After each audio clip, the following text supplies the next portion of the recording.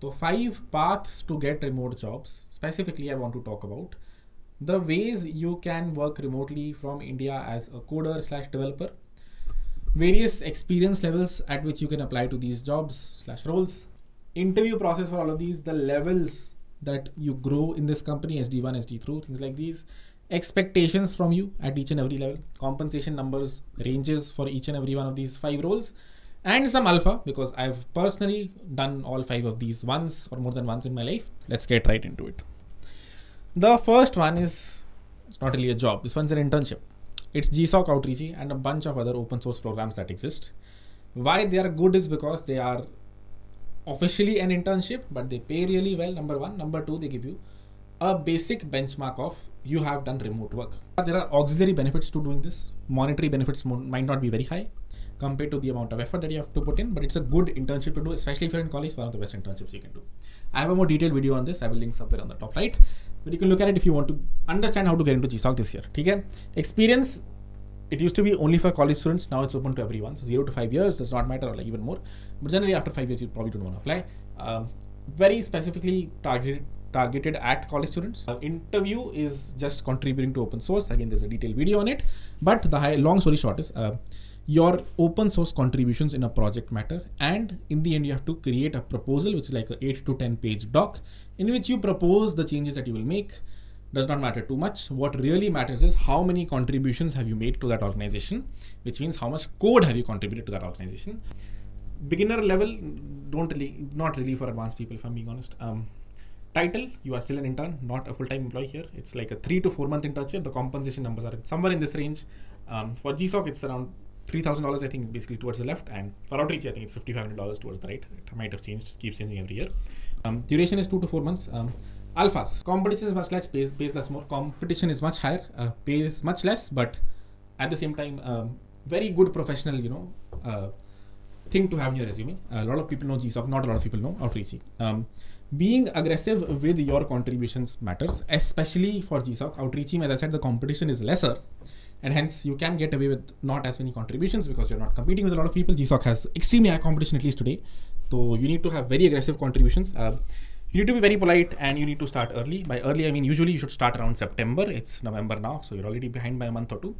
But GSOC officially starts in March, um, which means you still have three to four months to make a lot of open source contributions. Um, pick the right organizations. Um, unfortunately, this is like a this is like an examination, right? There are thousand vacancies that come up every year, and a bunch of people applying. Then a few people will make it in.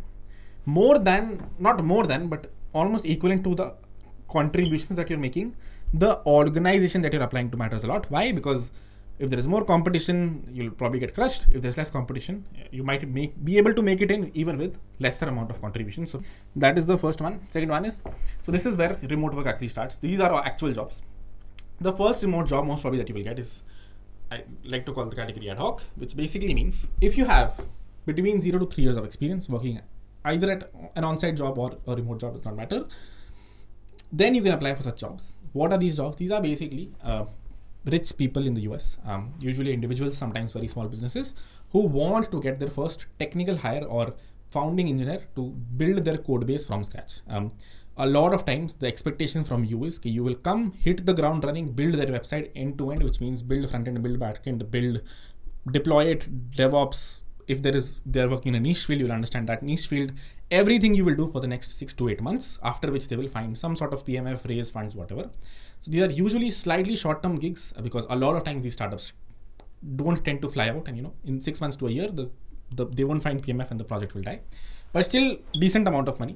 Interview is fairly casual. It is trial heavy, which means you have to give them a trial. You have to show them you can actually create websites. You can write bad code, but you should be able to put something out in production. That's all they care. Level is intermediate. You need to have a lot of knowledge, as I said, of a bunch of things, not just one specific domain. Compensation is usually this much, which is 20 to 30 dollars an hour. That translates to 40 to 60k US dollars a year, around 50 LPA basically.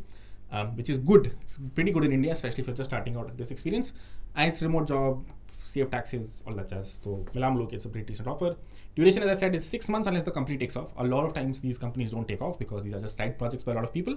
But the good thing is you can do this with another job, you know, uh, keep a backup option if you know this company might not go anywhere. For me, my first project was something like this where I built something for the client. Um, we did it for around eight months and we built a solid product, but they could not find PMF. They could not find someone to sell it to. I made my money. The good thing here is that you make money irrespective of the outcome. But again, don't expect extreme amount of job stability here. Uh, eight to ten months ke baad, based on whether or not they find PMF, they will keep you or let you go. If they do find a PMF, then it's you know you are one of the founding engineers. You can ask for equity, all that jazz.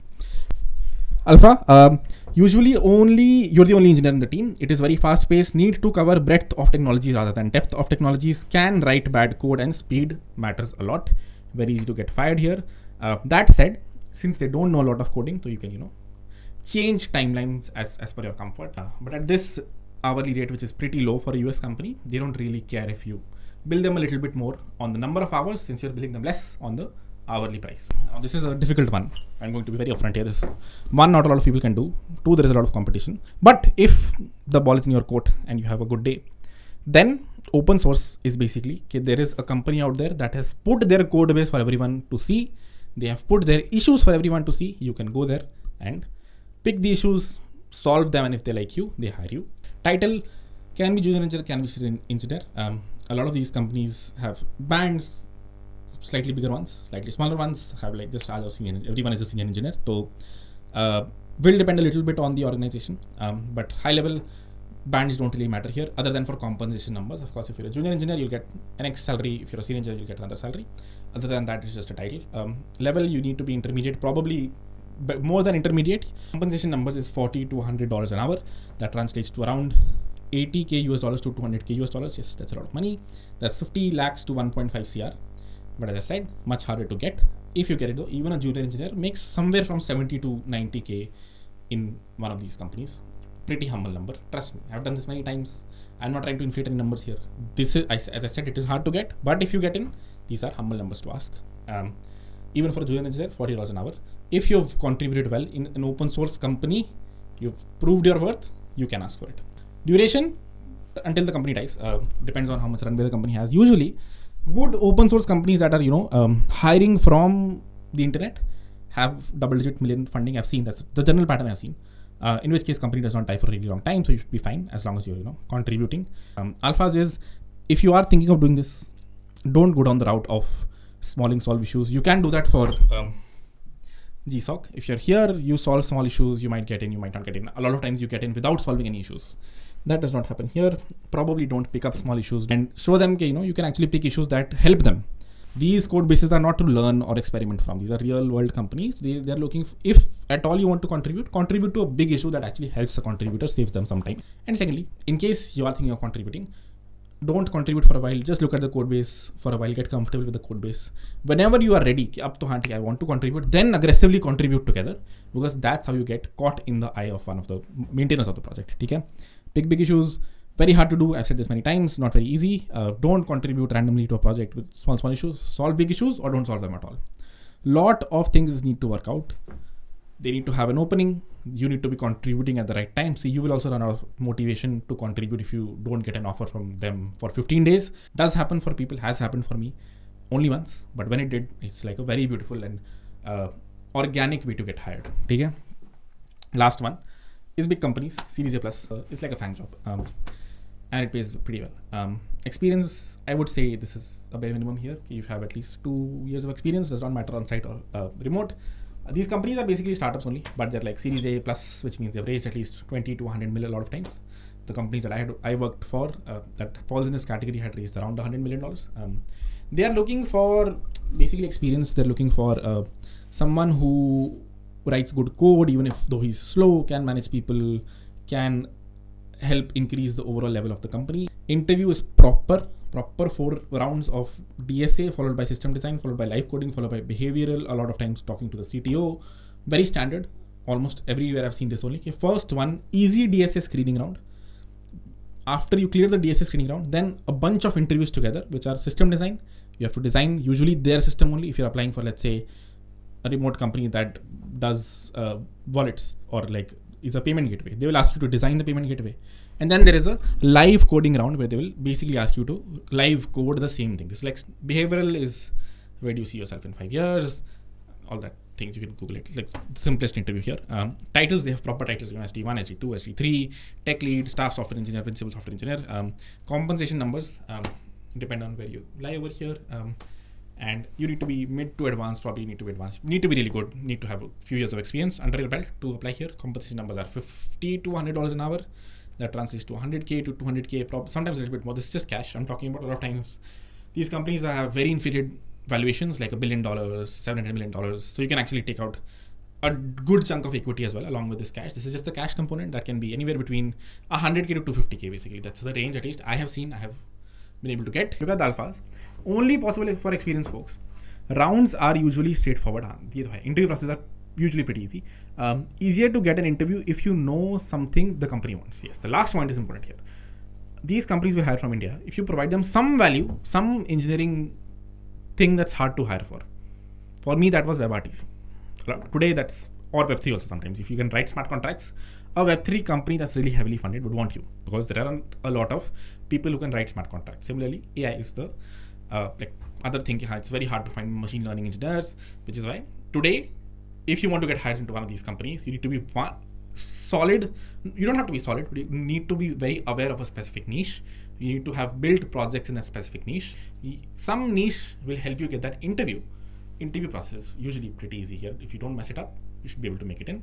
Pretty lucrative and you know, chill, laid back sort of a atmosphere in these companies. Um, you do your standard nine to five, you go on offsite, it's pretty chill. It's, it's not as aggressive as all the points that I've discussed until now, but it's also sort of harder to get. Last one, talent network. So this is not really a job, but um, this is pretty lucrative. Uh, it if you get into a talent network, um, it can connect you to a lot of opportunities which are much harder to do through like a Fiverr or an Upwork. Um, talent networks are companies that sort of interview you once uh, very aggressively and then get you into the network, which basically means now you're part of the network. Anytime someone in the US, someone in UK needs to find um, a developer, they connect you to the de- developer in the US, in UK. The good thing about these networks is, you know, there's one time effort of interview. And after that, the clients that you're meeting, they don't have an official interview process. They just have trials basically and usually the trials are pretty smooth so you're able to get jobs consistently. If this is pretty good if you already have a job and want to do freelancing on the side because you can get short-term projects if you want you can get long-term projects as well uh, and they pay pretty well. Um, the talent network interviews are usually two rounds uh, one round of dsa and one round of round live coding. Dsa is much hard pretty hard here. Um, i don't know why uh, but they yeah they want to filter out a lot of people so dsa is do in 10 minutes solve this dp problem which is it was hard for me. Um, title, there is no title here. You're just part of a network, and then you get uh, sort of employed in some company for like six months to a year usually. That's the general duration of a project that you'll get. So these are short-term projects that you get that this company sort of connects you to. Um, level you need to be intermediate to mediocre. Um, compensation numbers are these. Um, I would say it's more towards $25 unless you're good in a niche. Getting in is hard, but life is pretty chill after you get in. Um, I said, two interviews to get in, but after you get in, it's like you're part of the network forever, and you can get like look for job opportunities and a lot, of times get them. You have to sort of price yourself based on markets. Um, in a bull market, if you know a niche, I've made this much as well, and like consistently and build a lot of clients. During bears, 25, 30, 50, those are the ranges that you should target at least from a third world country. Um, blessing if you are in a third world country it's very hard to connect to people in the US. Third world countries may these that's the job of these talent networks. That's how they make money. USA expensive client, India say cheap developer, connect them, make money in the middle. Talent network cuts are usually 50 to 100 percent, which basically means if you are charging 50,000 rupees a month, the talent network is also taking 50,000 rupees a month, and the end client in the US is paying 1 lakh rupees. If you make in a year 100k from these talent networks, the talent network also almost makes 100k keep that in mind does not really matter to me.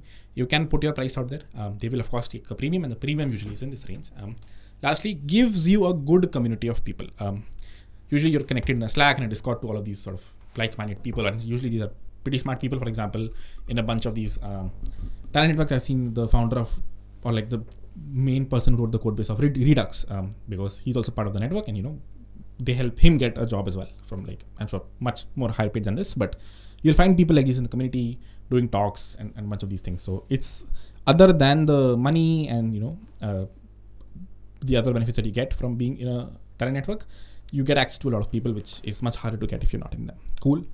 These were the five high level see if i have something else. Nope ways to make money let me recap it's either gsoc or outreachy you'll make around five three to five thousand dollars during a summer. It's an internship, not a full-time job. Ad hoc, which means you don't have a lot of experience. You ask someone in the US who needs to build a startup, okay, bhai, I'll help you out. You get paid somewhere between 30 to 50k US dollars, and can be short term. Usually short term unless the product kicks off and you know you become one of the founding engineers in the company. Open source much harder to do, pays very well, but you need to be very good. Make sure you're solving really good issues if you're trying to go down this route, and luck plays a little bit of part here big company very smooth very chill but you need to be a senior engineer you need to be good you need to it's good to have a domain knowledge in some specific niche then it's easier to get here um, very chill lifestyle very it's like a FAANG uh, but pays well and you can work remotely. Um, lastly talent networks like toptal uh, Braintrust um, gigster are three that come to mind right now. There are like 20 talent networks today. Um, good community to have can a little erratic but can connect you to companies. Usually something you do along with your full-time job. Okay? That's all i wanted to talk about. Thank you everyone for joining. Hopefully this was an insightful video. I'll see you guys in the next one. Bye bye